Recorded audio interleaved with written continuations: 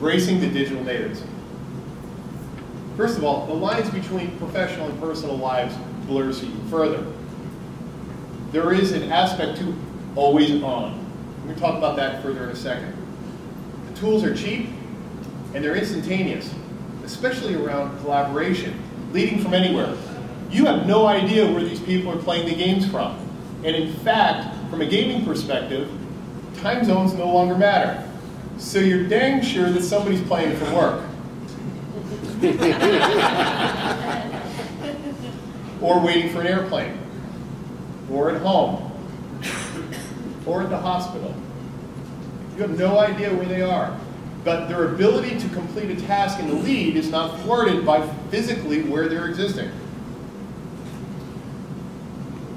They are no longer tied to bricks and mortar. They're a creative and curious bunch, um, but they need a bridge to the styles that are foreign to others. And lastly, I kind of highlighted it, is we need digital wisdom in our organizations. People and leaders today that can understand and embrace this type of thinking so that the creativity continue, can continue to flow and they're allowed a safe place to fail. Practice, practice, practice. So for you, some, some things I'd like for you to take away. Do your collaboration tools exist? I'm not talking about email. And in fact, email is not a collaboration tool. Most gamers don't read email that's longer than two fingers. Sound familiar to anybody in here? anybody say that? If it's longer than two fingers, you, you missed an opportunity for a conversation. Or you should have texted me. Seriously collaboration tools of communication, email is not an efficient manner of communication of, for people who speak in 130 characters or less. Do those policies exist for those tools, as we've been discussing this morning with Steve and Dan? Well, here's an interesting one. Management by walking around. This used to be a strategy.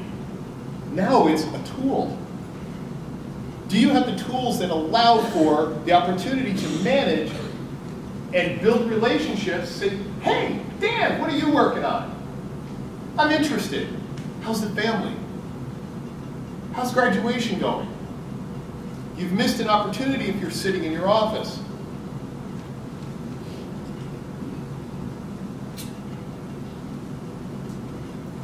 Back when I was the, uh, the leader of a Swedish firm, something culturally caught me off guard. I was sitting in my very first board meeting, and it's a big long table, and I was the only one that didn't speak Swedish, so they could have said anything. And there was a common theme that would happen among different business leaders is they would write notes on a piece of paper, they would fold the notes off, and they would pass it to each other. Ed Fates knows what I'm talking about. They would read the notes and then they'd respond and hand it back. And this would be in the middle of a meeting. And I thought to myself, how rude.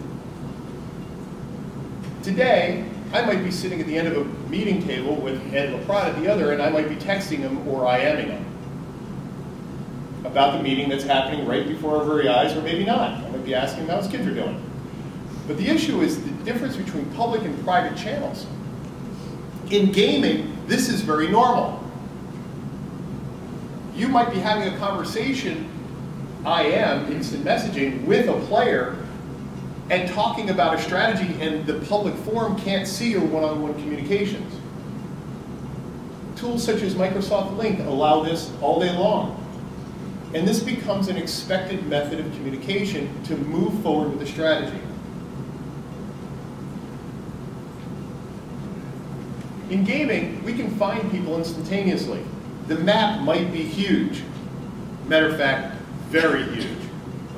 But you can find out where all your teammates are, what they're doing, and is it specific to the goal that you've set before your team, your guild? Well, this is what presence computing is evolving to in the business sense. Again, tools such as Microsoft Lync and Google's tools that allow you to have the ability to gather all of your people and check in no matter where they are on a plane, in a hospital, you know they're on a phone in a meeting, but you can talk instantaneously to everybody at a push of a button. This is becoming an expected norm.